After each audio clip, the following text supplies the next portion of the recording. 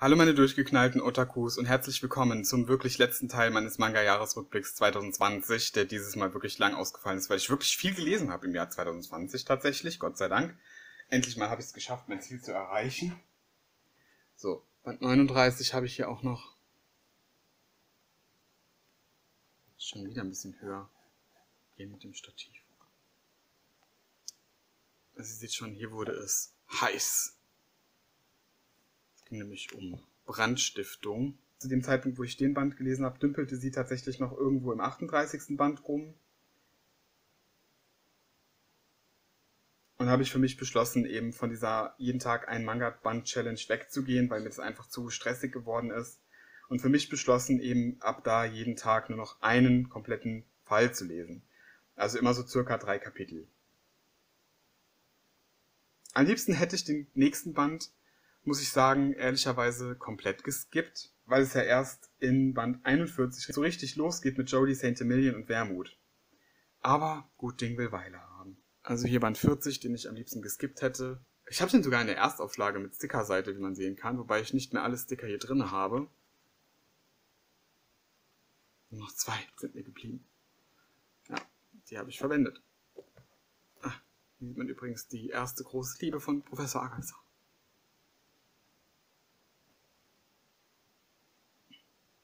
Gut, dass ich den Band nicht geskippt habe übrigens. So much romance going on. Also Takagi und Miwako Sato sind sich nochmal ein gutes Stück näher gekommen in dem Band und sogar Professor Agasa hat seine eigene Love Story bekommen, bei der es sich tatsächlich um drei Kapitel handelt, die bisher noch nicht in der deutschen Fassung des Animes vorkamen. Das heißt, damit habe ich jetzt sogar schon den Dub-Guckern etwas voraus. Ja, also wenn ihr da draußen bisher nur die deutschen Folgen euch mit deutscher Synchro angeguckt habt von Detektiv Conan, gibt es einen Fall, den ich gelesen habe im Manga, den ihr noch nicht kennt, der erst später noch kommen wird, falls ProSieben Max jemals eine weitere Staffel ausstrahlen wird. Ella Badge. Und gerade diese Geschichte war auch mein absolutes Highlight in dem Band. So schön!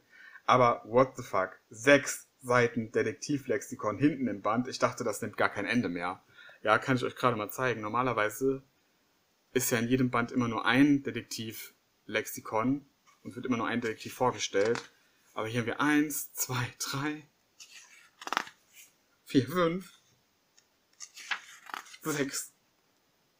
Also wurden halt schon richtig viele reingepackt, die erst in den nächsten Bänden kommen und halt welche, die in vorherigen Bänden hätten kommen sollen schon. Gut, dann haben wir hier Band 41. Ein bisschen höher hier im Stativ, so. Damit ihr besser sehen könnt. Endlich mal mit Akebi Miyano als Schwester hinten drauf. Hat ja auch sehr lange auf sich warten lassen. Ja, ich hatte eigentlich Wichtigeres zu tun. Also auch da musste ich mich auf eine Prüfung vorbereiten eigentlich. Aber es war einfach so spannend, dass ich beim besten Willen nicht aufhören konnte weiterzulesen. Und ich hatte so das Gefühl, dass der Band danach, also Band 42, das absolute Highlight der kompletten Reihe darstellen würde. Also mal abgesehen von dem großen Finale, wenn die Serie irgendwann wirklich mal endlich zum Ende kommt. In circa 100 Jahren. Und krass, dass es einfach mal 23 Bände gedauert hat, bis jemand bemerkt hat, dass Ei Gefühle für Conan hat. So, Fun Fact am Rande. Und jetzt kommen wir zum bisher letzten Band, den ich von Detektiv Conan gelesen habe. Band 42, der legendäre. Ich glaube, das ist echt der spannendste Band der Reihe.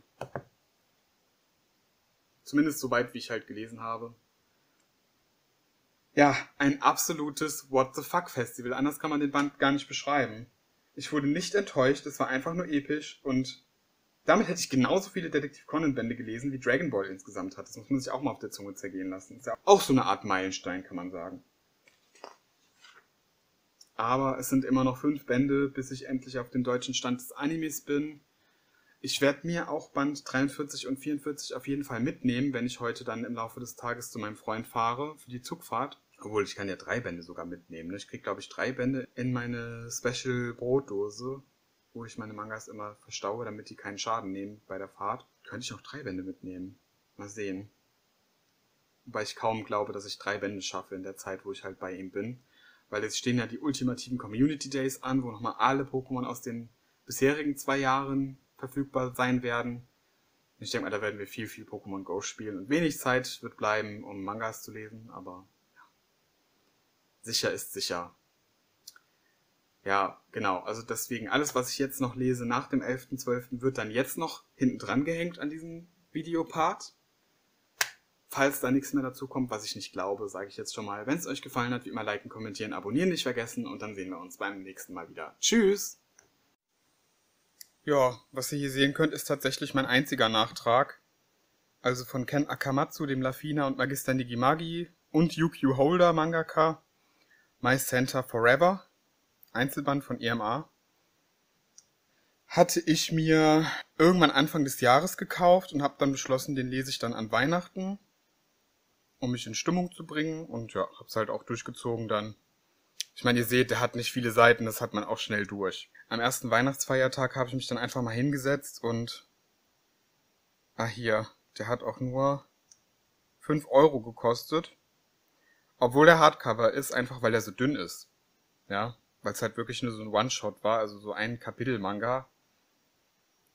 Wahrscheinlich auch anlässlich Weihnachten dann erschienen in irgendeinem Magazin damals. Naja, auf jeden Fall habe ich da lange einen Bogen drum gemacht, weil ich habe auch den Anime davon, also Itsudate My Center heißt der. Und den fand ich nicht so gut, deshalb. Und keine Ahnung. Nun hatte ich ja jetzt Lafina komplett und habe Magister Nigimagi ein paar Bände geschenkt bekommen von einer Freundin. Da habe ich mir gedacht, komm, scheiß drauf. Gönnst du dir mal den Manga und vergleichst mal so ein bisschen, wie das halt so ist im Vergleich zum Anime, was so die Unterschiede sind und so. Hatte ich auch auf Instagram einen Auszug draus gepostet. Hier wird halt auch noch Ken Akamatsu vorgestellt, seine anderen Werke, also Negima, Magister Negimagi und eben Lafina und ach ey, I Love You hatte ich auch ganz vergessen zu erwähnen, genau, da habe ich auch den ersten Band geschenkt bekommen. Und hier seht ihr, dass hier dieser One-Shot tatsächlich 1998 schon in Japan erschienen ist und erst 2011 seinen Weg nach Deutschland geschafft hat. Schon krass. Zwölf Jahre später. Nee, 13 Jahre sind das ja sogar. Fast. Da steht auch Itsudate My Center ist halt der Originaltitel. Also nach AI Love You und kurz vor Lafina hat er eben diese Weihnachtsgeschichte gezeichnet. Im Shonen Magazine. Ah, und das war bei Lafina in der Luxusausgabe 2001 mit drinne.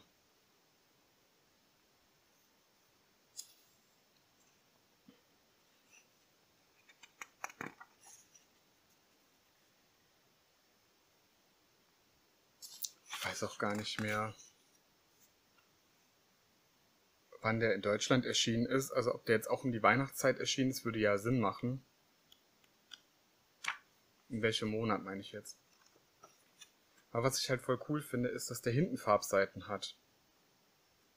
Wo sie sich dann eben in Santa verwandelt. Das sind doch richtig hübsche Farbseiten. Was meint ihr? Besonders diese Doppelseite hier.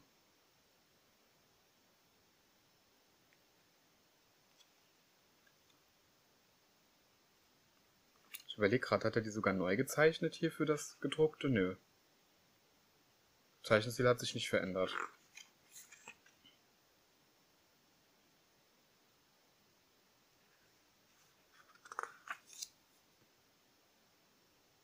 Also sehr schön gestaltete Edition werde ich auch auf jeden Fall behalten.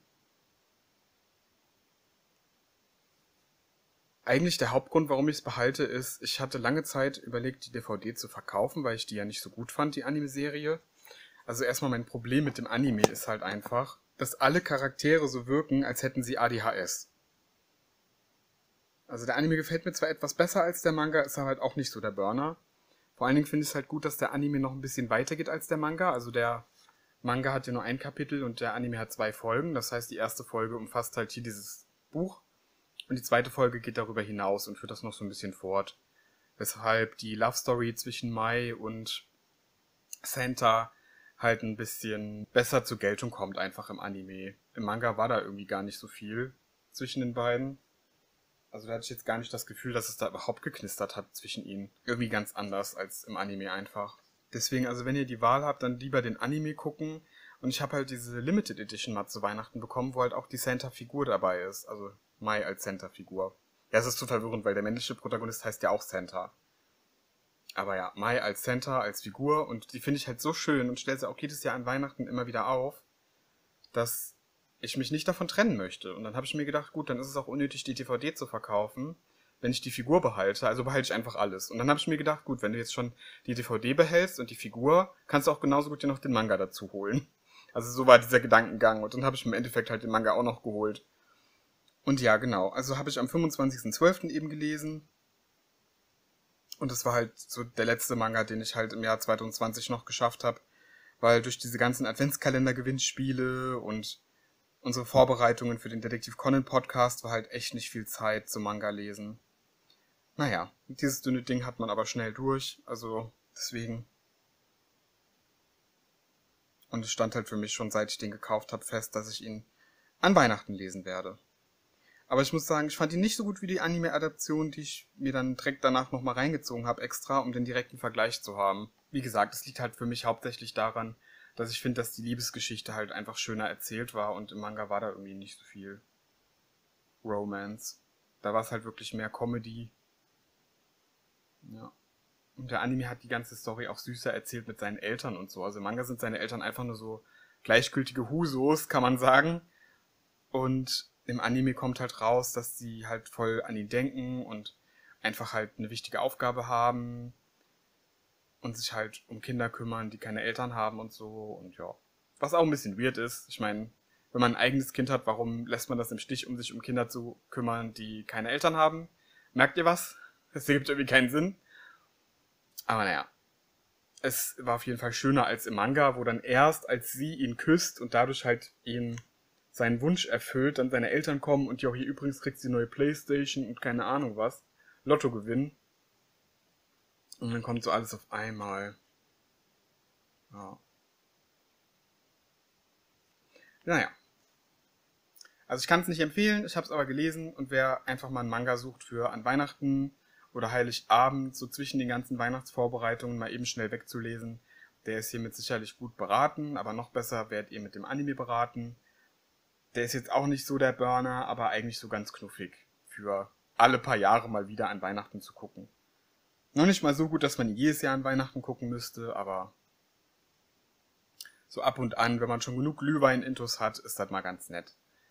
Wenn es euch gefallen hat, wie immer liken, kommentieren, abonnieren nicht vergessen und ihr könnt auch gerne mal in die Kommentare schreiben, was denn so euer Manga-Jahr 2020 gewesen ist. Also ich erwarte natürlich jetzt nicht, dass ihr mir genauso noch jeden einzelnen Band aufführen könnt, den ihr gelesen habt das ganze Jahr über. Außer ihr habt halt irgendwie auch so einen Blog oder so, wo man das halt nachvollziehen kann aber vielleicht so aus dem Gedächtnis. So, was waren so die Manga-Reihen, die ihr gelesen habt, Einzelbände und so. Ich glaube, was einem eher so im Gedächtnis bleibt, sind natürlich die längeren Reihen, die man gelesen hat. Würde mich einfach mal interessieren. Und vielleicht auch, welche Mangas dabei gewesen sind hier bei meinem Rückblick, die ihr noch gar nicht kanntet oder für die ihr euch jetzt interessiert, also wo ich euer Interesse wecken konnte. Oder vielleicht das Gegenteil, dass da Mangas dabei waren, die ihr euch holen wolltet, aber nachdem ich da ein bisschen was drüber gelabert habe, jetzt doch nicht mehr euch die holen wollt. Ja, genau. Also das würde mich jetzt brennend interessieren. Also auf gar keinen Fall vergessen es in die Kommentare zu schreiben und dann sehen wir uns beim nächsten Mal wieder mit endlich mal wieder neuen Themen. Tschüss!